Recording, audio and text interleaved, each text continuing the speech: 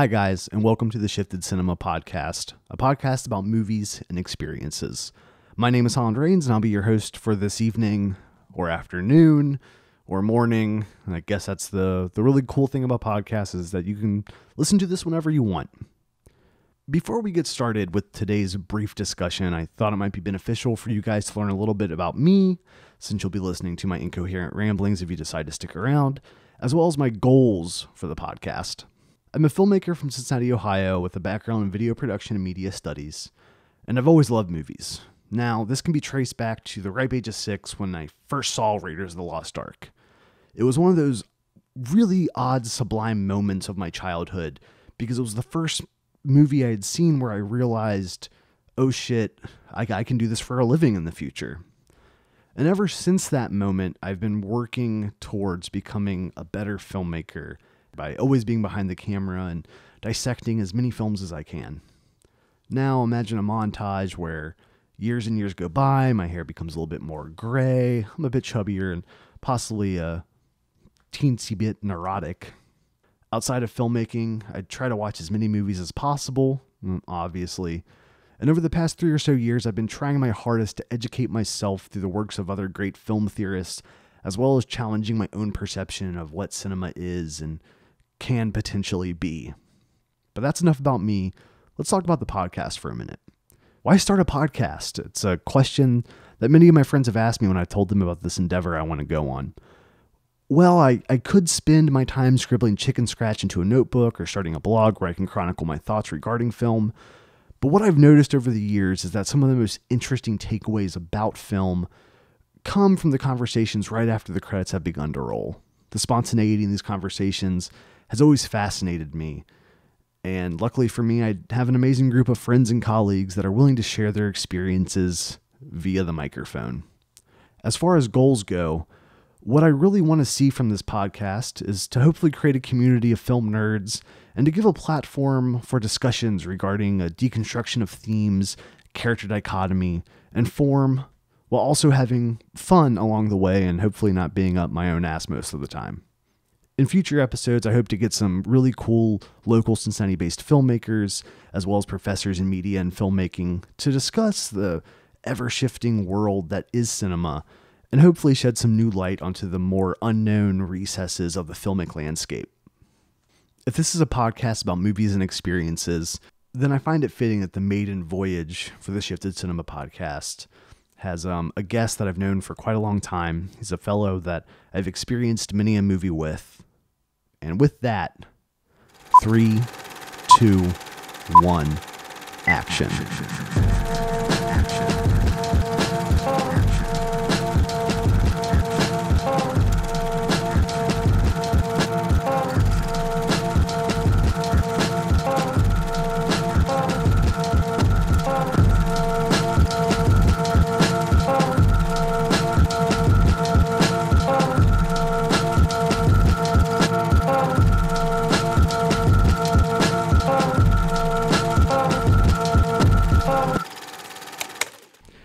So, guys, we're here with one of my oldest friends. I met him in the fourth grade. Fourth grade. Do you do you remember when we met? When we Yeah, it was between yeah, you've heard this. So between me, you, and uh, Danny Glasscock, and I, I chose Holland Rains. I, I had one best friend to pick.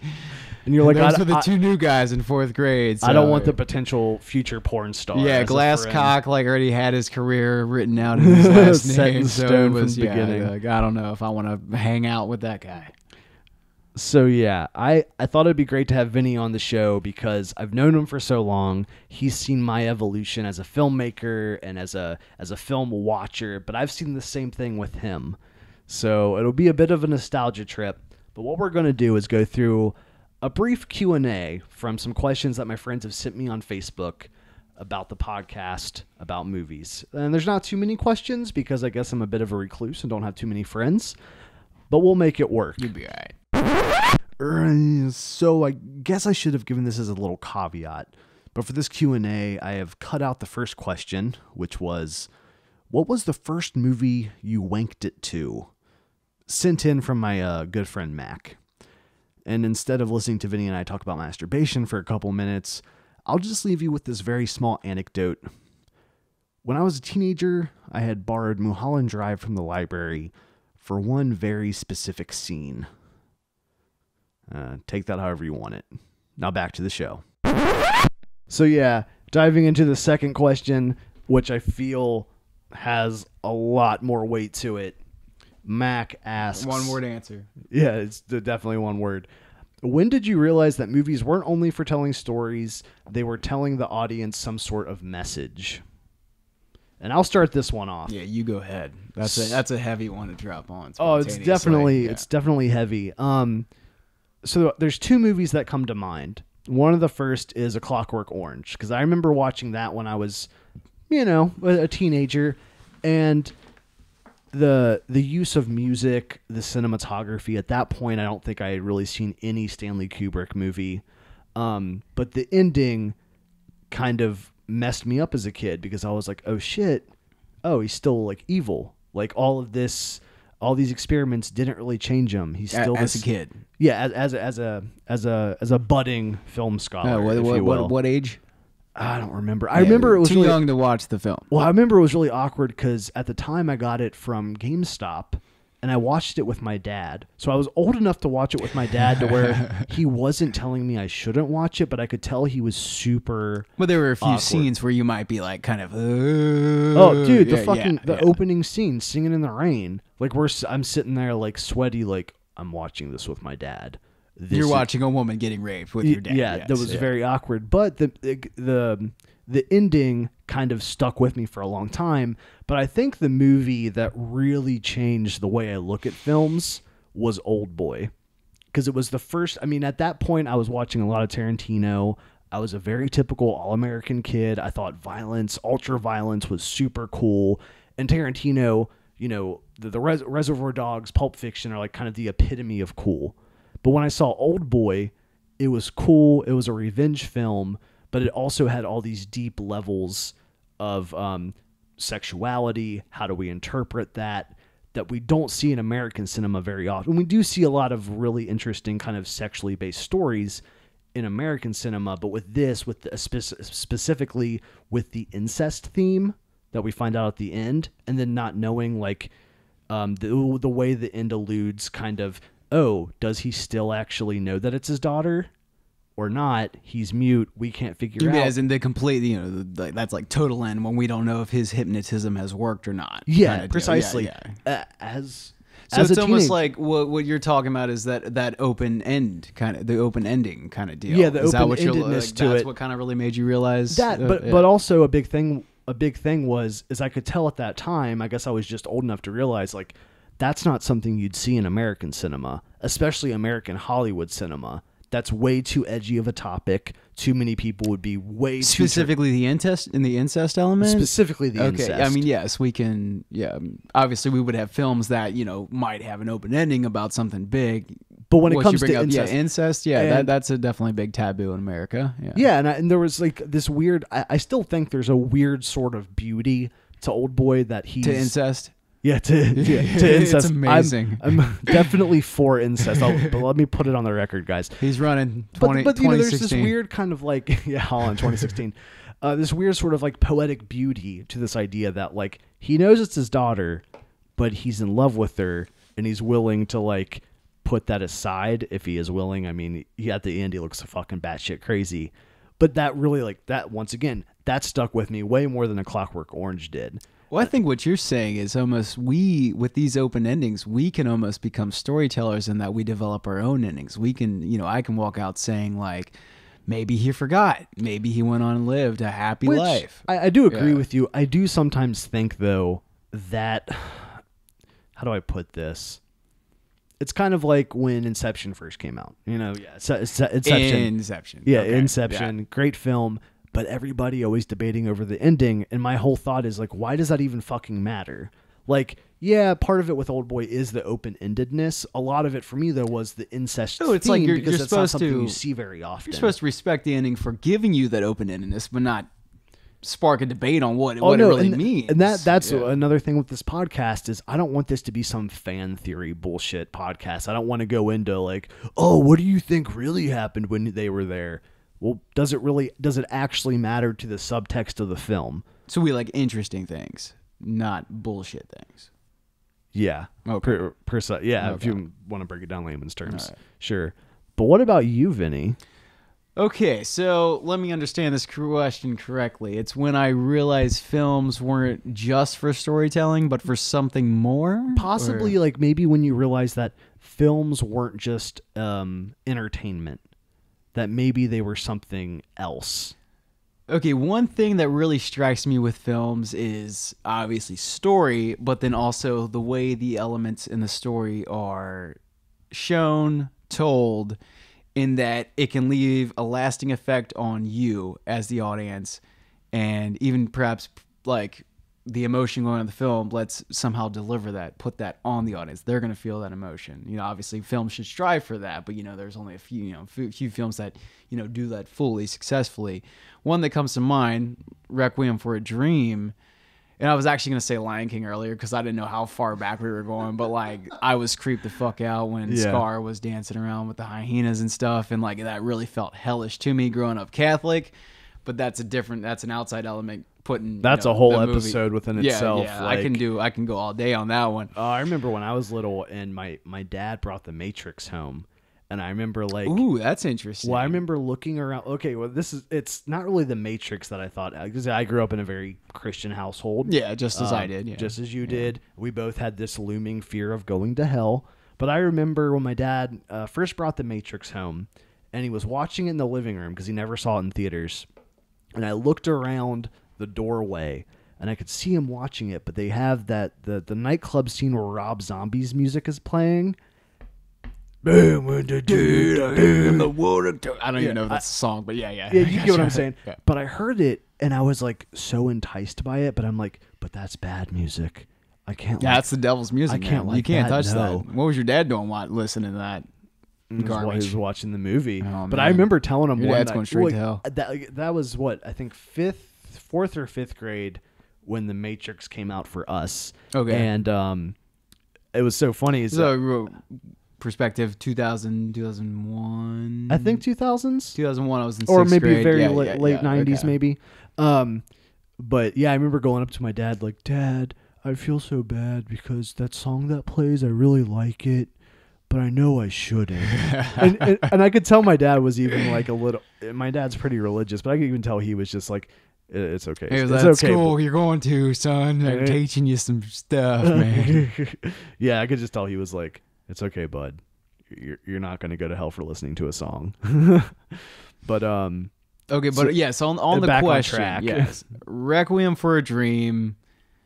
If you haven't seen it, we just see different levels of addiction just spiral out of control for a few characters, and this the the weight of the depression I felt after I watched that film, like at the end, like seeing yeah, it doesn't end well for anybody, pretty much. The weight of depression you feel, like I guess I was just at the right age to really understand that, mm-hmm. and like walking away from that, wanting to tell everyone about how good the film was, but at the same time how depressed it's gonna make you feel. Like I wanted to, I, I needed people to know about the film pretty much after I saw it, and that I had never felt like that way about a film before. So I'd say definitely, yeah, Requiem for a Dream for me. I remember when um, that one, we yeah. that that was uh how old were we when that one came out? Do you remember? I don't even remember now when it came out. You might have even told me about it before I went and bought it. I don't. I don't. Even Well, I remember that when I saw it. How long after it came out that I saw it? Well, I remember when we watched it, you had rented it or something, and because we watched it like three times in one weekend at your place. Yeah, no, I, I definitely remember that being one of those movies too, where I was so intrigued with the style as well as the substance of the film. Yeah, yeah. Style, it- like, I think even yeah, style wise, still helped the mo- obviously um the musical score that you know that that uh, Winter Overture. I, I couldn't even tell you who the original artist is, but that became like a phenomenal staple music piece to to you know it's like you know used in like YouTube parody videos of not even just the movie but you know so many things. It just the music in the in the film carried such a depressing tone. Like just everything that mil- in that movie was just set like bam emotion is depression. Deal with it. That's what it's gonna be. Yeah it, it just you know kept kept pounding it in.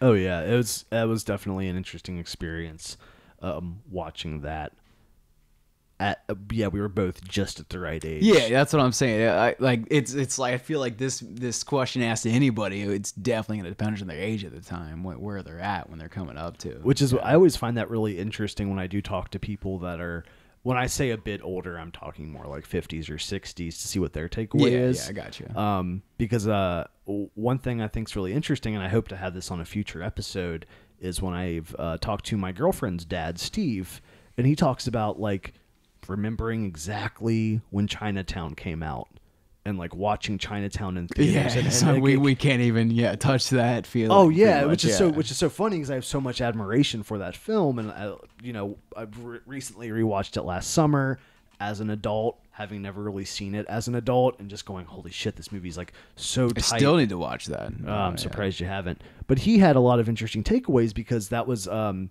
his whole thing was the subtext is all about the Watergate scandal and all this, and I was like, whoa.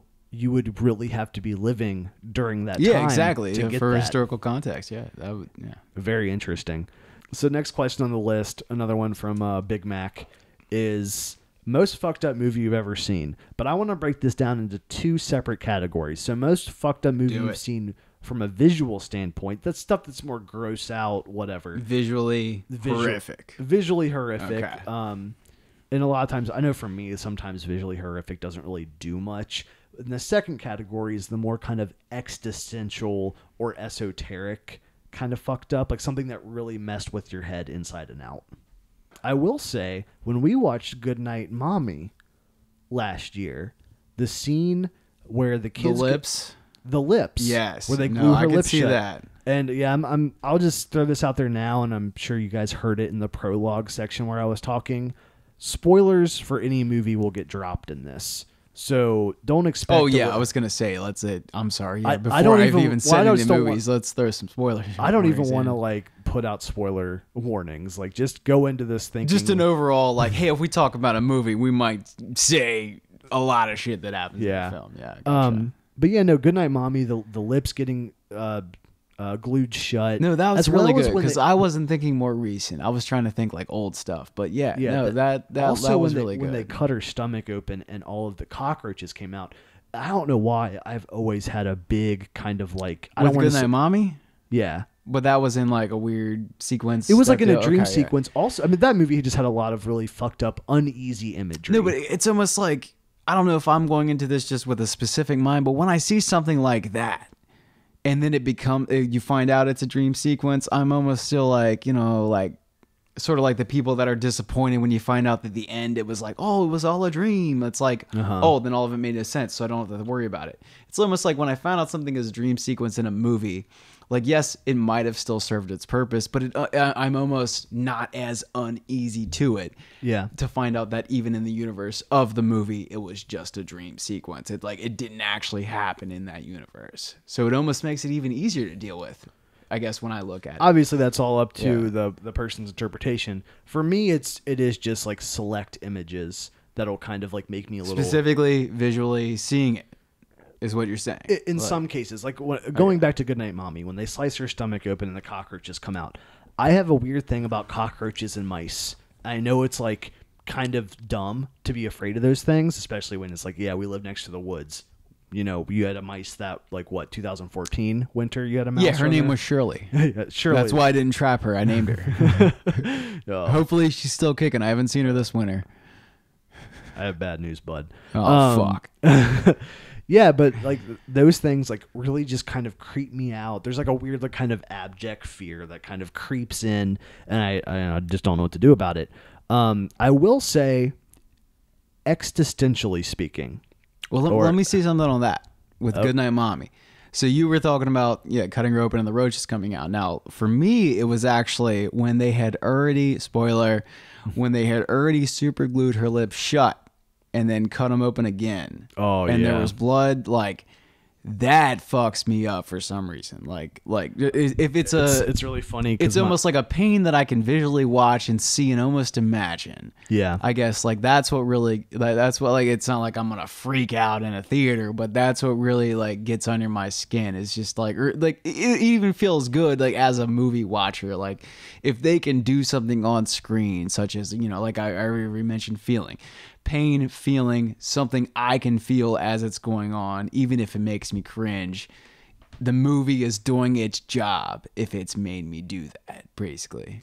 Yeah, I'd, I'd much rather uh, cringe at something than uh, jump. Exactly. No, because like you know your your cringe is quick, but you feel it a little bit more than just like a jump scare. I, I Like, think what yeah, made it's that a scene deeper level. What made that scene so unsettling as well is just the fact that they're sitting there and were they in masks during that scene and they're just like watching Oh her yeah, with those it's like fucking yeah, weird they, it's masks. just the, the total emotion, uh, like no yeah, emotion yeah, from you're, them. You're completely Like, cut off from it because yeah, you can't it's like, see you face. know, yeah, good night, mommy. It's like how do we just- blame these little boys for what they're doing when they're so emotionless and they think what they're doing is right, but Yeah, which Yeah, is we have a better understanding. how well that movie is written and directed that we can not just notice those things, but we're able to dissect them.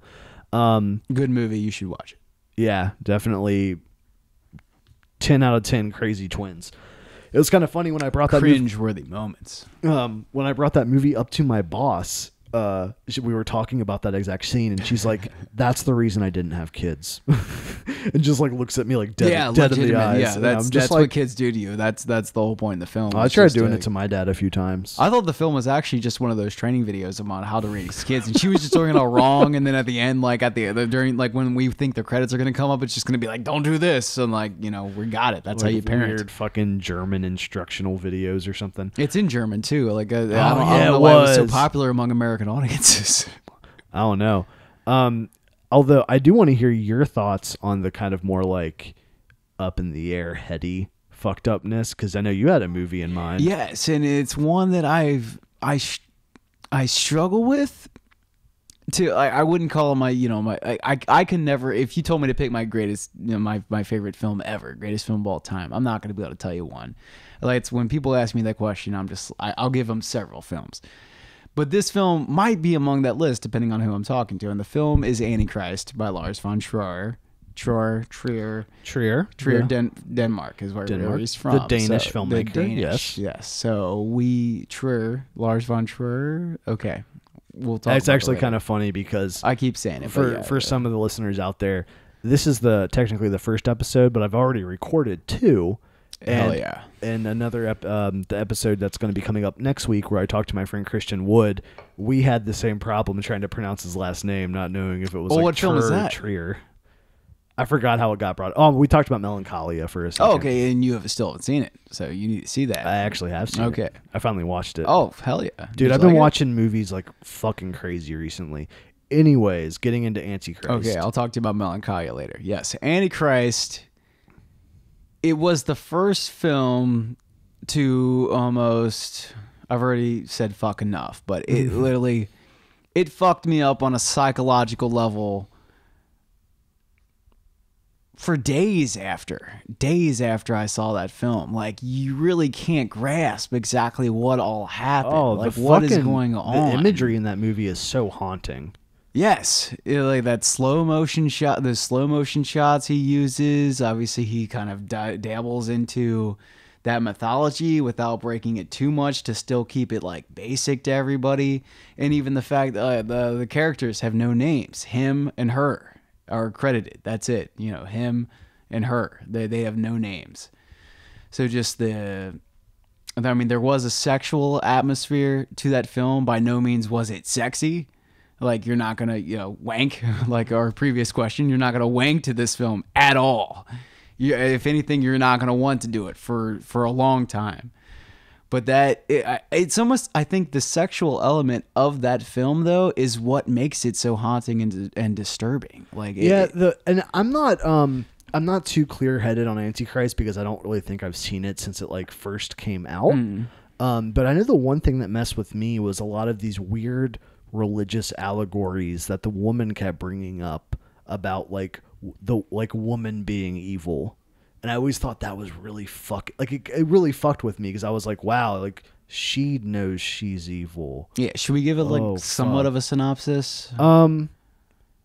No, if you haven't seen it, just go watch it. okay, if it you for haven't seen yourself. it, yeah, we, yeah, we should. All right, let's keep it weird, like because that's how you're gonna feel when you watch it. It Yeah, it, it weird. You'll but definitely feel very. from my perspective, it's very good. It, it but to me, a very good movie is one that messes you up on an emotional level for a while. Like it, it like, and going back to the question, like it has done its job. It, if it has changed you emotionally.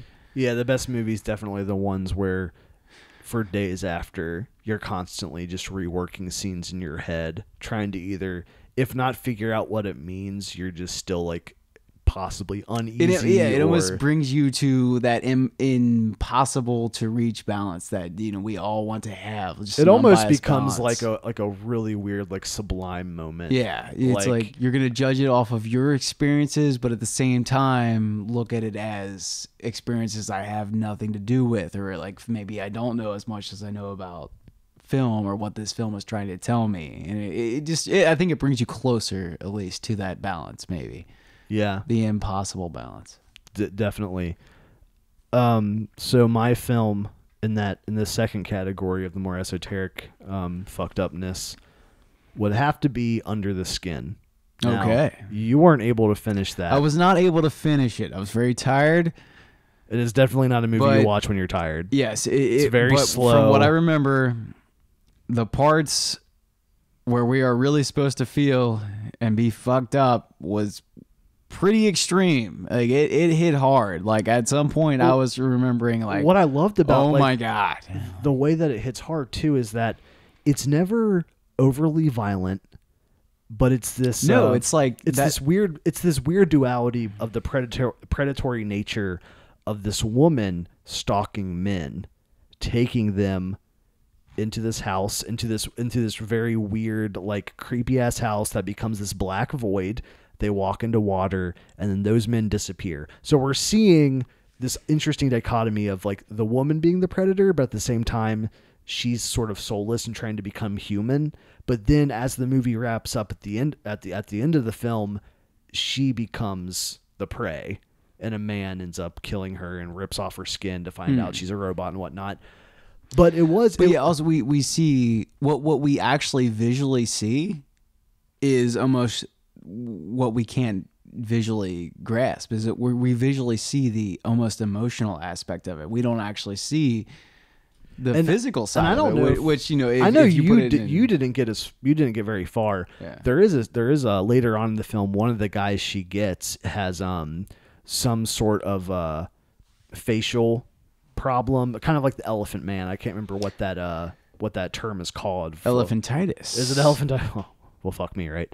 Um, so elephantitis, but uh, you can tell that's the first point in the movie where she starts to try to understand what it means because the whole Oh, film yeah, is her trying to that up, yeah. understand what it means to be human and the human experience as well if we want to dive into like feminist theory like the female experience and that's like the first person she kind of is around where she's like trying to kind of like she she's trying to dive into him And or like just it, really it- fucking it, weird and made something that made him abnormal to what she had already had. well he knows he's abnormal and he's kind of wondering like what the fuck is this like super hot lady doing talking to me and when they finally get to the black void yeah, where he's just like looking at her and, and, like nothing's really yeah. that that movie left me So it always ended with that black void. that black they'd they'd fall into like the the black well, like water every every one of our encounter would end with that. They'd, right. they'd deflate like a balloon uh, for Yeah. lack of a better term Yeah. But uh, yeah, no, that movie for day, especially the ending shot where you see her on fire, a wide shot in front of these trees burning, and it just pans up and you see the smoke just drifting into like the the cloudy sky. It just it, it kind of fucked me up for days to where I was like, I really wanted to watch it again. That shot specifically, the idea. Oh no, what, the, the what- whole the whole ending sequence Okay. where she becomes the prey. And I'm Okay. You know, when I'm saying predator, it sounds weird because it sounds like she is maliciously going after people, like she enjoys it when she's more of a robot. So I think that kind of covers it for this brief Q and A.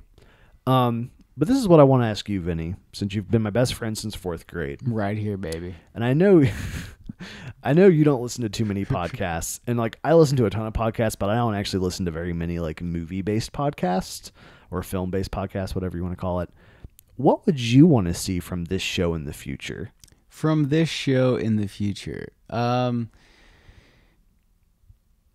I guess not necessarily. I mean, sort of what we've been doing. Not, not that I'm trying to like toot our horn, but just like we should find things that we think a lot of people don't know about or a lot of people haven't seen and you know just not necessarily be like hey go watch this but like explain why why is this important why why should we go see this foreign film why should we go see this low budget film like you know look for look for things that you know we feel like it, it, are doing even if it's on a low budget spectrum doing something extraordinary something that has impacted us hard you know we we are not going to act like we are the kings of film, but we feel like we are impacted by films and we think other people can be as well. So find find things that might be hard to find, I guess, and and get other people on board to, to at least check it out, see it. And I agree with that. That's actually um, one of my biggest influences to do this podcast was to not try to talk about whatever the movie of the week is, but to talk about films that I want to talk about. The Things, Lion King. The Lion King can do like a whole six part episode on that. Um, and speaking of films that I are, and speaking of films that I think are possibly important and stuff that we will be discussing in the future, in very recent news, um, the Polish director Andrzej Zulawski died this past week. R.I.P. Yes, rest in peace. He is known for his 1981 horror film Possession, as well as his 1975 film The Most Important Thing, Love. But he's also known for a little film called On the Silver Globe, which hopefully in the future I'll be discussing with a few friends. It's an extremely interesting film. The aesthetics are just crazy, and the director's known for doing some very crazy, kind of out there things. Um, but that's a that's a very recent news. I'm sure if you see the the date for this episode, you know we're in uh, mid February right now. But uh, yeah, the in the for the future, I have some really cool episodes coming up. I, uh, next week, I'll have my buddy Christian Wood on the show. We'll be discussing a Norwegian film called The Wave, as well as the Academy Awards the and Wave. Yeah, if it was only that metal. Um, as well as the Academy Awards and if they're bullshit. I'll have my one of my favorite people ever, uh, Professor Alexis Paulos from Northern Kentucky University, to discuss abject spirituality within Stalker and Solaris, as well as many of other heavy. Yeah, very heavy. I've been working my ass off on getting the show notes together, um, as well as doing um, the the Stalker and Solaris episode is part of sort of like a trilogy of episodes about esoteric sci-fi cinema. So it'll be Stalker and Solaris then on the Silver Globe, and then discussing Zardoz with my good friend Mark Borison from the Question Mark podcast. So we're in a cult, and we're gonna get everybody to join us. Basically, yes. Okay. That's that's good. kind of the goal. I'm I'm going to make people to kill a lot of innocent people for no reason. Well, I was just, I just want to make people uncomfortable by forcing them to watch stuff they normally wouldn't. okay, watch. so we shouldn't kill them yet. But we're not going to kill you guys yet. Yet. Yet. Okay. Good. Keyword. Right, yeah. Anyways, guys, thanks for watching. If you have any questions, you can hit me up on Twitter at protofail or send me an email to shiftedcinemapodcast at gmail.com. I'd love to hear from you. And uh, let me know what I'm doing right, what I'm doing wrong. Vinny, one, um, one last question for you. Uh oh. Is there any film coming out this year, being 2006, Ooh, 16, year, you're gonna run it at me that you're looking forward to? Well, we're about to see The Witch already, Sunday. so I mean that's the only thing that I can think that comes to mind is that that looks, I mean, just from the trailer, an, an impressive display of the film just from the trailer and that it, we just kind of get glimpses. We I, I I couldn't even tell you what the film exactly Dude, about. You know what? You don't even need to see a trailer for that movie. That one quote from Rolling Stone that says it's like Stanley Kubrick uh, Stan, Stanley Kubrick making out with Satan. Yes, I'm sold. I'm sold. No, no, I'm we don't sold. I just hope that you know that's a big quote. I, I think that is amazing. That's what I'm going to look look for when I go see that you film. Know, the thing, you know what's really funny too is I know I'm hyping myself up for this movie a little bit I yeah, yeah. I have this. Are. I have this good feeling that I'm not going to be disappointed because everything I keep reading in terms of reviews kind of make it out like, yeah, this is the kind of horror film I like. I like that really weird, unsettling, thick atmosphere, and it feels like that. This is what that, that's become do. something that's almost so hard to achieve nowadays. Like you know, horror films are kind of really back and forth. Well, they're even that kind of a uh, dime a straight, dozen. Straight horror, like you know, horror has become a different kind of like, almost different people define it differently. It's you know that that kind of I scary, it's- uneasy element that we've kind of already talked about. I think you it's definitely that's. I mean, that's uh, obviously like a whole topic we could discuss for yeah, like yeah, a whole hour. Obviously, yeah, Yeah, no, it's it's really interesting seeing the the kind of ever shifting face of horror. But I think what people really do need to realize is that horror is such a broad term. Yeah, I almost think we're still looking for like almost the next big thing. Like found footage, it was a big thing. Yeah. It's kind of had its time. Like we're we're kind of back to cinematic now. that's actually what a, cinematically can we can we bring to Mm-hmm. this table to make it new? that's a future. Ep- that's actually another future episode I want to do that I've been doing a lot I'm of all research about on. future episodes apparently. Oh, I'm just trying to. gi- I'm trying to give people a little taste of what's in the future. I just want to shove it all. I just want to. Yeah. I just want to give it all to them. Anyways, guys, thanks for watching. Um, Vinny, you're not on social media, so I'm assuming I don't need to give you a spotlight. I'm right? not. If people like me, maybe I will be. this is just me trying to get friends. Uh, don't worry, I'll put you in charge. Be of my the, uh, friend, please. Let Holland know you want to be my friend. Yeah, Vinny needs friends. He's very lonely. Anyways, guys, thanks for watching, not watching, listening. I do too much TV production. We'll Um, film it eventually, Yeah, maybe. maybe. We'll see what happens. But yeah, thanks for listening, guys. Stay informed, stay cinematic, and keep watching movies.